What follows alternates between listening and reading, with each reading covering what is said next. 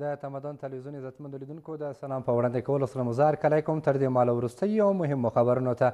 د پاکستان لنډمهاله لومړي وزیر ویلي هیڅ افغان په دې هیواد کې له ویزې پرته نشي کولی ژوند وکړي انور الحق حق انورالحق کاکړ وایي، هغه افغانان چې د استوګنې قانوني اسناد او ویزې نه لري، بېرته به یې هېواد ته ستانه کړي. د پاکستان لومړي وزیر ادعا کړې چې پاکستان ته په غیر قانوني توګه د افغانانو ورتګ په دې هېواد کې د ترهګریزو ډلو پیاوړتیا سبب شوی او ډېری ټولنیز زیانونه یې رامنځته کړي دي. بلخوا کابل تل له اسلام آباد څخه غوښتي ترڅو له افغان کډوالو سره انساني چلند او نړیوال اصول په پام کې ونیسي.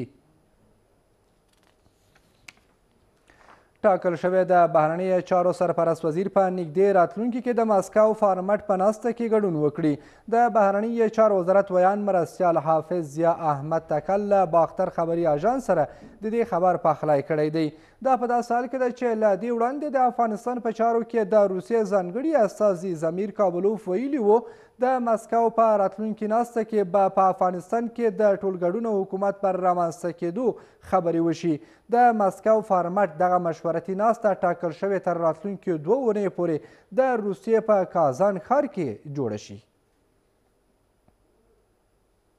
د ازبکستان ولسمشر د قوشتیپې کانال جوړېدو په غبرګون کې ویلي د دې کانال په جوړېدو سره به په منځنۍ اسیا کې د اوبو تعادل په بنسټیز ډول بدل شي شوکت میرزیایوف په بدل شوي ویلي د تاجکستان د منځنۍ اسیا د هیوادونو مشرانو په پنځمه مشورتي غونډه کې وویل په حقیقت کې یو نوی مصرفونکی هیواد راڅرګند شوی چې له دغه هیواد سره هیڅ ډول اړیکې نه لرو هم مهاله د اوبو او چاپیریال ساتنو مسایلو څېړونکي ویلي، د منځنیز ختیځ او د اوبو توازن کلونه وړاندې ګډوډ شوی دی. د کندهار ولایت د سوداګرۍ او پانګونې خونې اعلان کړی چې د تیرې یوې میاشتې په ترڅ کې یې د شپاړس میلیونه ډالرو په ارزښت انځیر پاکستان او هند هیواد ته صدر کړي دي هم مهاله ویل شوي چې سږ کال په کندهار ولایت کې د انځیرو حاصلات یو سلو پنځوس زره ټنه اټکل شوي چې د تیر کال په پرتله لس سلنه ډیرښت ښکاره کوي د کندهار ولایت انځیر د کیفیت له پلوه غوره انځیر بلل شوي چې په نړیوالو بازارونو کې خورا شهرت لري د افغان سرې میاشتې ټولنې اعلان کړی چې په کابل کې له یو څلوېښت زره سوالګرو څخه یوازې درې سوه درې څلوېښت تنه مستحق پېژندل شوي او پاتې نورو یې سوالګري د کار او پیسو ګټلو لپاره غوره کړې له دې سره دې ادارې ویلي چې د مستحق کسانو لپاره یې هره میاشت ثابت معاش ټاکلی دی. له دې سره ویل کېږي چې دغو کسانو ته به هره میاشت پنځه زره افغانۍ معاش ورکړل شي. دغه مرسته ترلاسه کوونکي وايي، له سختو اقتصادي ستونزو سره مخ دي او له دې وړاندې یې هېڅ ډول مرستې نه دي ترلاسه کړي.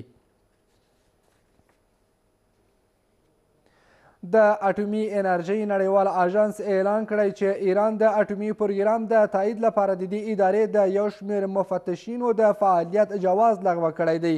بلخوا ایران د دې څرګندونو په غبرګون کې ویلي دا کسان یې د امریکا او د برجام درې اروپایي هیوادونو له لوري د دې شورا څخه سیاسي ګټې اخیستنې په تور د فعالیت جوازونه لغوه کړي دي. د دې هیواد بهرني چارو وزارت ویاند ټینګار کړی چې لویدیځ هیوادونه د زیاتې غوښتنې په تړاو هڅه کوي دوی او آژانس ترمن اړیکې خرابې کړي. په دې وروستیو کې د امریکا د برجام اروپایي هیوادونو غړیو او همداراز اروپايي ټولنې ایران په نه همکارۍ تورن کړی او اعلان یې کړی د دې لړۍ په دوام سره به د آژانس حکام شورا به د ایران پر وړاندې یو پرېکړه لیک تصویب کړي. او وروستی خبر دا چې د سوریې دیپلوماتیکو باوري سرچینو اعلان کړی چې د دې هیواد ولسمشر به په نږدې راتلونکي اونیو کې په یوه مهم سفر چین ته ولاړ شي دغه سرچینې ټینګار کړی چې بشار اسد به له یو شمېر لوړپوړي سیاسي او اقتصادي پلاوي سره مل سفر وکړي ټاکل شوې چې اسد به د چین په پلازمینه کې له لوړپوړو چیني چارواکو سره په لوړه کچه ناستې هم ترسره کړي هممهاله یو شمېر سوري دیپلوماتیکو ویلي، د بشار اسد دغه سفر خورا مهم ده او له شي جین پینګ سره به په یو لړ مراسمو کې بحث او خبرې وکړي. چین ته د سوریې ولسمشر دغه سفر خورا مهم بلل شوی چې کولی شي د دواړو هیوادونو ترمنځ د اړیکو پراختیا لامل شي.